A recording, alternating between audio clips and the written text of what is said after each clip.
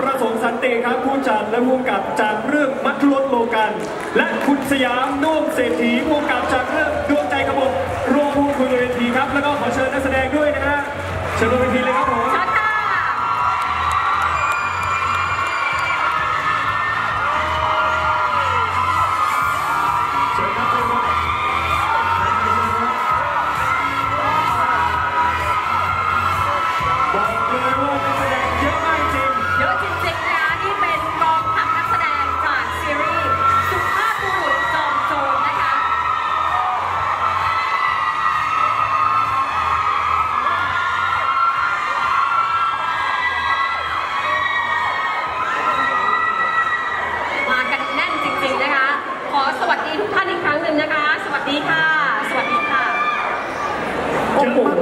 แสดงเรื่องนี้ แน่นจริงๆเพราะเป็นซีรีส์เอครับผมอเอาเริ่มต้นขอถามน้องไทยก่อน ถามน้องไทยก่อนนะคะว่าทำไมถึงเลือกซีรีส์ชุดนี้มาทำละคร แล้วเสน่ห์ของละครทั้งสองเรื่อง ดวงใจขบฏมันรถโลกันเป็นยังไงคะ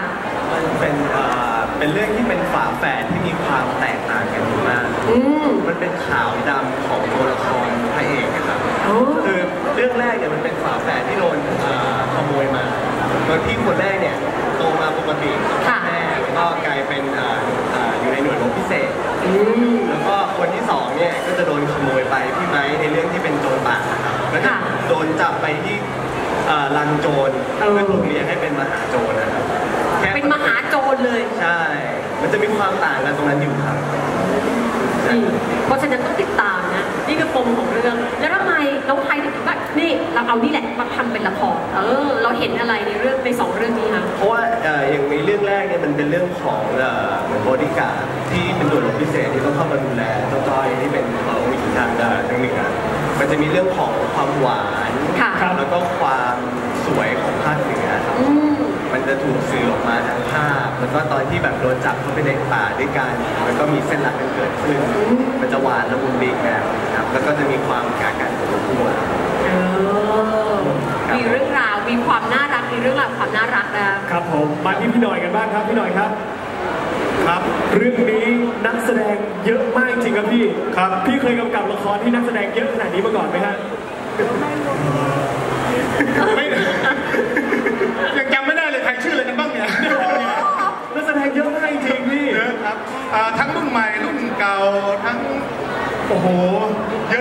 หมดเลยบางทีเดินผ่านยังไม่รู้เลยใครเป็นนักแสดงเนี่ยงง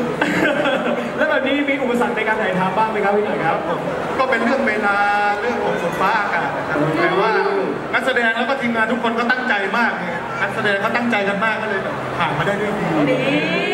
โอ้โหนักแสดงทำงานอย่างดีนะครับเดี๋ยวต้องถาม character ของแต่ละคนดีกว่าว่าในแต่ละเรื่องในแต่ละเรื่องเนี่ยแต่ละคนรับบทแสดงเป็นยังไง เริ่มจากด้านนู้นเลยนะคะ คุณธงชัยนะคะนักแสดงหน้าใหม่นะคะครับเชิญพี่ธงอ๋อชัยไม่ใช่ค่ะไม่ใช่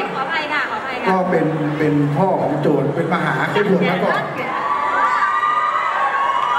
เคยบวชมาก่อนนะในเรื่องบวชเออสื่อมาก็เรียกมหาค่ะ มหาใครบอกมหาโจรก็เลยว้าไม่มีนะฮะไม่มีนะออกแนวทิ้งโจรมหาโจรอะไรอย่างเงี้ยนะฮะเชิญค่ะ เชิญเชิค่ะญเชิญค่ะ เชิญน้องฟิล์มค่ะน้องฟิล์มเชิญเลยค่ะ ค่ะ ก็ภาคของพี่จะอยู่ในเรื่องมัธยมโลกันนะคะค่ะในเรื่องก็เป็นสาวชาวป่าค่ะชื่อพี่คูณ สุดในรันโจอยู่แล้วก็คือพี่ภูค่ะค่ะเออเห็นไหมคะหล่อจริงมีเสียง confirm บอกเลยนี่ค่ะแต่ว่าในเรื่องเนี่ยมันก็จะมี conflict นิดนึงคือเหมือนเราชอบเขาเขาไม่ชอบเราแล้วอยู่ดีๆก็มีสาวสวยจากไหนไม่รู้เนี่ยมาแย่งความสนใจเราไปอย่างที่โอ้ยไม่ได้เลยไม่ได้ ไม่ได้เลย ไม่ได้เลยแต่ว่าร้อนจะเป็นยังไงร้อนต้องไปดูเองค่ะ ค่ะครับนี่อะจากน้องฟิล์มมาข้างๆกันแล้วกันนะคะ โอ้ยเป็นยังไงบ้างคะ อากาศหนาวไหมคะ ฟ้ามนี่ครับค่ะโอ้ยตายแล้วดูสิ พี่ปุ้มครับคะ ลูกสองแล้วครับพี่ อ๋อ ก็นานๆทีอุ้ยมีแฟนคลับโดนมาด้วย ทำไมคะ แตะนิดแตะหน่อยไม่ได้เหรอคะ เขาไม่ยอมนะคะโอ๊ตนี่จับนิดจับหน่อยลองกิฟอ้าอ้าอ้าจริง ๆ แล้วเขาห่วงนะฮะ ห่วง จริง ๆ เป็นแฟนของคุณโอ๊ตในกองนะฮะ โอ้ย ครับอะผมในเรื่องเป็นยังไงเป็นยังไงน้องโอ๊ครับตผมผมโอ๊ตรัตทีครับรับบทเป็นเจ้าขุนแสงเรืองค่ะ ในเรื่องเนี่ยเป็นลูกชายของพี่ต่อมสาวิตรีครับเจ้าขุนครับ คือผมกับแม่เนี่ยคิดมาตลอดว่าพ่อของนาวเนี่ยเขาได้แย่งตำแหน่งเจ้าหลวงไปโอ้เราก็เลยคิดว่าเราต้องการที่จะเอาทุกสิ่งทุกอย่างกลับคืนมาครับเรามีแบบเหมือนมีความเจ้าคิดเจ้าแค้ใช่นใช่แต่จริงๆแล้วส่วนใหญ่ก็ได้แม่นะฮะตามคุณแม่มา ใช่ เราเป็นคนดีนะคะนั่นแหละฮะผมว่าเอ่อ ด้วยความที่เรามี mindset แบบนั้นว่าเขาแย่งสิ่งทุกอย่างเราไปเราก็เลยคิดว่าต้องเอาคืนมาเราไม่ได้คิดหรอกว่าเราจะเป็นตัวร้ายหรือเป็นอะไรเออแล้วถามอยากโอ๊ตในเรื่องที่เราต้องแบบว่ามีถอดส้มถอดเสื้อมีแบบอาบน้ำในน้ำตกวันบ้างนี้ไหมฮะคะไม่มีสู้พี่ไม้ไม่ได้ วันนี้ก็เลยขอแก้หน่อย เออ วันนี้ขอสักนิดนึงอ่าในเรื่องนี้เห็นว่าขาวอมชมพูมากเลยนะคะเฮ้ยอยากให้ติดตามครับอะจากน้องโอ๊ตนะคะน้องหลุยบ้าง เป็นยังไงบ้างคะบทบาทในเรื่อง สวัสดีครับผมลูเอสครับ ในเรื่องได้รับบทเป็นยุทธราชครับผมยุทธราชก็จะเป็นฐานองครักษ์ของเจ้าจ้อยครับ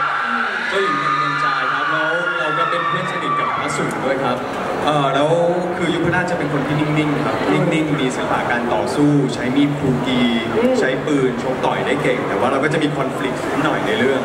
เออก็เลยทำให้เป็นเป็นที่มาของเออเรื่องการทะเลาะกันครับใช่ครับแล้วเรารักเดียวใจเดียวครับนี่รักเดียวใจเดียวมากๆครับ โอ้แหม ซึ่งก็แบบบทบาท character ก็ดูเหมาะกับน้องหลุยนะ เป็นองครักษ์นะ มีแบบว่าวิชงวิชานะ ซึ่งแบบว่าคสรับไตล์หลุยเลย เนาะ ครับ แล้วเราในเรื่องคู่กับน้องแม็กกี้ ใช่ครับคู่กับแม็กกี้ครับ เป็นยังไง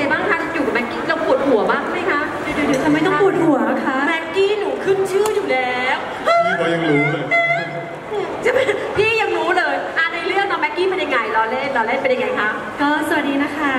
แม็กอ่าขอบคุณค่ะก็เรื่องนี้แม็กกี้รับบทเป็นอ่อนคำนะคะ เป็นนางกำนันสาวคนสวยเออ เป็นเพื่อนสนิทขององค์หญิงเจ้าจ้อยนะคะ ครับ ก็โตมาด้วยกันค่ะ รักเดียวใจเดียวเหมือนกัน แต่ว่าคือรักรักเขาแต่เขาไม่รักเราน่าสงสารมากคือสวยมักนกอะ เออ ใช่ เราก็เลยมาสายตลกไงเออ ชีวิตจริงอะก็ถูกต้องแล้วล่ะครับ โอเคต่อฮะต่อพี่ขอโทเชิญษสวัสดีค่ะนาทิสานาถค่ะรับบทเป็นเจ้าจ้อยค่ะ เป็นพระผู้มั่นของโบ๊ทค่ะ ใช่ค่ะในเรื่องคือเราเป็นองค์หญิงแล้วก็ถูกตีเมือง ก็เลยให้ให้เราได้พบกับพระเอกทั้งสองพระเอกค่ะนี่น้องนาวน้องนาวนี่จ๋า ในเรื่องน้องนาวสวยหวานมาก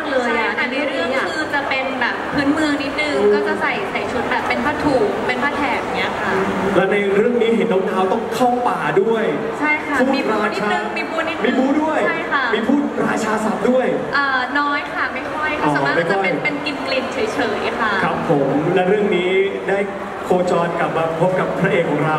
ใช่น้องไม้รู้สึกเป็นไงบ้างฮะ ดีใจมากค่ะ จริงๆ เราเจอกันเป็นเรื่องนี้เป็นเรื่องเรื่องที่สามแล้วค่ะโอ้ดีใจค่ะทำงานง่ายค่ะ นี่เอ้ย